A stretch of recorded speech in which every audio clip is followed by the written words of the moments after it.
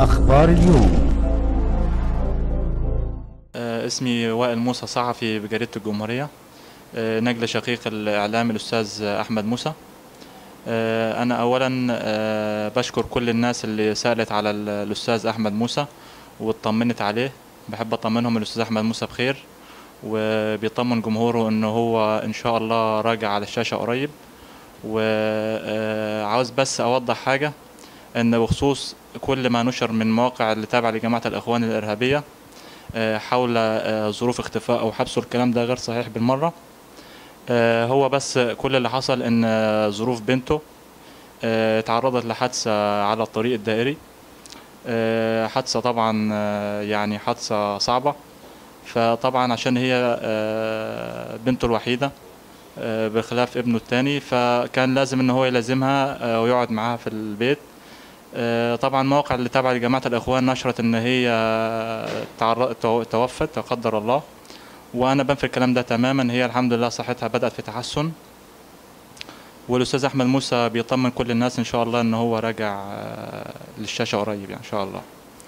آه، بالنسبة لأزمة آه، نقابة الصحفيين آه، طبعا موقف نقابة الصحفيين آه، بالنسبة لأزمة الإعلام الأستاذ أحمد موسى كان موقف آه، غير مرضي. آه، ما كناش نتمنى ان إن نقيب الصحفيين الاستاذ يحيى قلاش اللي إحنا انتخبناه إن هو يقصر أو ما يقومش بالدور اللي إحنا كنا نتمنى إن هو يقوم بيه لأن إحنا كنا نتطلع إن هو يبذل مجهود أكبر آه، في آه، خاصة إنه الاستاذ أحمد موسى مش عضو مش عضو نقابة الصحفيين فقط بل إن هو كان عضو في مجلس نقابة الصحفيين.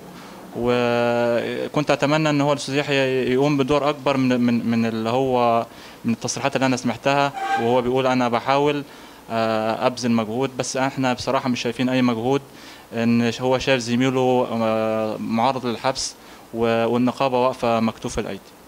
فأتمنى إن الأستاذ يحيى قلاشي يقوم بالدور اللي إحنا يعني آه، يقوم بيه تجاه زميله زملاء زميله الصحفي الأستاذ أحمد موسى. تصريحات إن هو هيرجع مثلا بعد فترة ولا فترة غيابه دي هتطول لحد إمتى؟ عشان في ناس كتير عايزة تطمن وتكذب الأقاويل اللي دايما بتتقال. الحقيقة الأستاذ أحمد موسى آه، إن شاء الله هيطلع قريب وكان في اتصال آه، امبارح معاه. آه، هو بس موضوع زي ما قلت لحضرتك موضوع بنته شغله شوية وخلاه إن هو يفضل قاعد معاها في البيت. لأن هي يعني حالتها صعبة حادثة على الطريق الدائري كانت صعبة شوية. وإن شاء الله هيرجع قريب. بس آه، كمان إحنا بنطمن الجروبات اللي هي آه، على الفيسبوك اللي انتشرت وعاوزة تطمن إحنا بنطمنها ونقول الاستاذ أحمد موسى بخير وإن شاء الله كده قريب هيطلع ويطمنكم ويرجع ينور الشاشة تاني إن شاء الله. ممكن تكلمنا أكتر عن الإعلامي أحمد موسى؟ في حاجات كتير الناس ما تعرفهاش عنه. آه، الأستاذ أحمد موسى هو صحفي من صعيد مصر من محافظة سوهاج آه، قرية شطورة. بدأ عمله بجريدة الأهرام. سافر بعدها للسعودية وبعدين رجع الاهرام تاني. آه، التحق آه، تدرج في المناصب من رئيس قسم حوادث حتى نائب رئيس قسم الحوادث.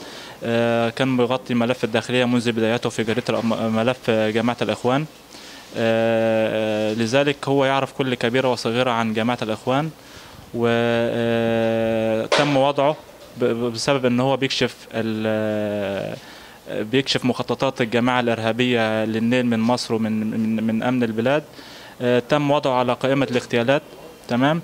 بس ده مش هي مش هيستهدف من الأستاذ أحمد موسى. بل هو بيديله دافع أكبر إن هو آه، يستمر في أداء رسالته الإعلامية وكشف كل ما آه، كل ما- كل من يريد بمصر سوء. إيه أكتر المواقف الصعبة اللي تعرض لها في الفترة الأخيرة؟ لا هو آه، مش مواقف صعبة ولا حاجة. هو بس آه، جات له تهديدات عدة من جماعة الإخوان آه، عشان يغير موقفه الإعلامي من اتجاه صدى موقفه الإعلامي في في خلال البرامج اللي هو البرنامج اللي هو بيقدمه. بس طبعا الأستاذ أحمد موسى ده بيزيد إصرار إن هو يعني يبذل مجهود أكبر ويكشف مخططات أكبر لل- للجماعة الإرهابية جماعة الإخوان الإرهابية.